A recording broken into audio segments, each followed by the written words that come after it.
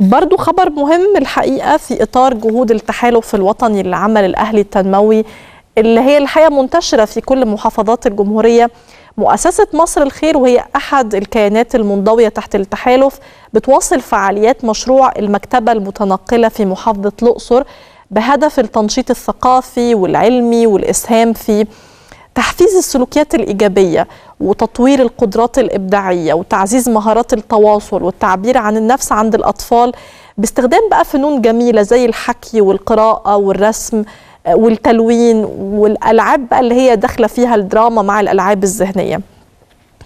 المؤسسة أيضا من أهدافها من خلال مشروع التعليم المجتمعي بتهدف أنها تدعم أكثر من 32 ألف طالب في كل محافظات الجمهورية من خلال 1084 مدرسة مجتمعية باستخدام أسلوب التعلم النشط بعيدا بقى عن فكرة الحفظ والتلقين.